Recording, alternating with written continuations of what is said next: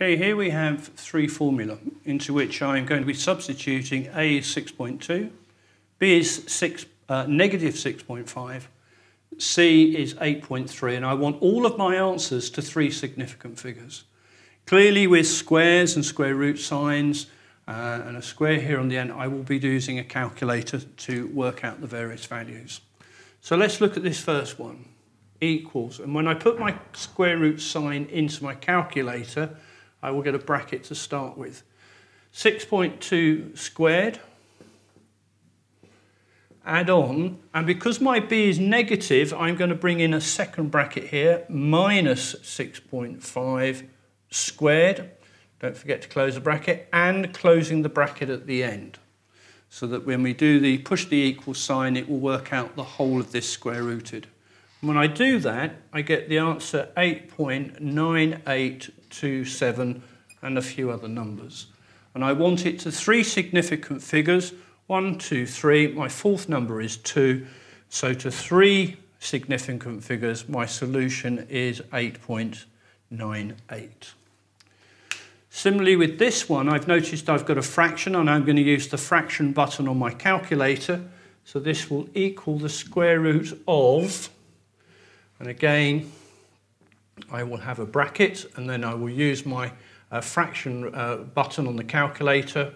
2 times pi times the value of a, which is 6.2, divided by, and the bottom number is 8.3. And again, don't forget to close the brackets before you push the equal sign. And when you do that, you'll have the solution 2.1664 and some other numbers. Three significant figures. I will have 2.1.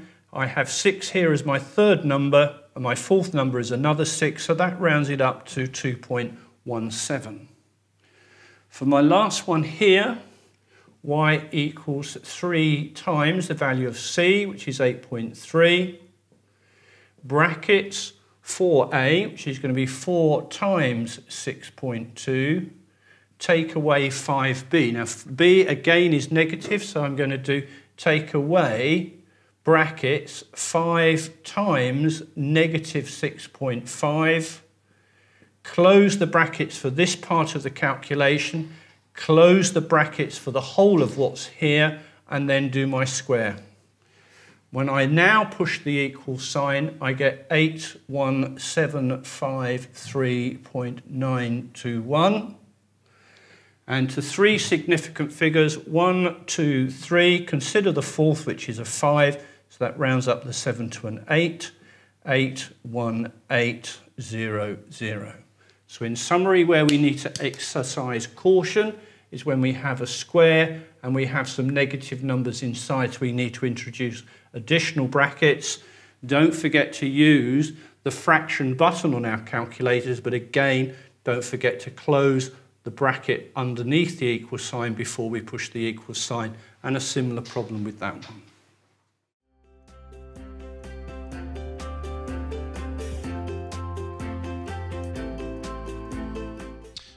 So let's have a look at this one. So solve x plus 2x equals 12. So what do you think you do first? Okay, well, I want x on its own, so I would put x equals 12 minus 2x. Okay, so a lot of the time we want to get x by itself, but what we want to do first is get all of these x's together. So can you see anything we can do with this? Get all these together in one place.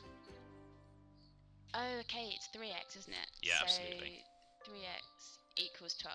Oh, and so x equals 4. Brilliant, spot on, well done.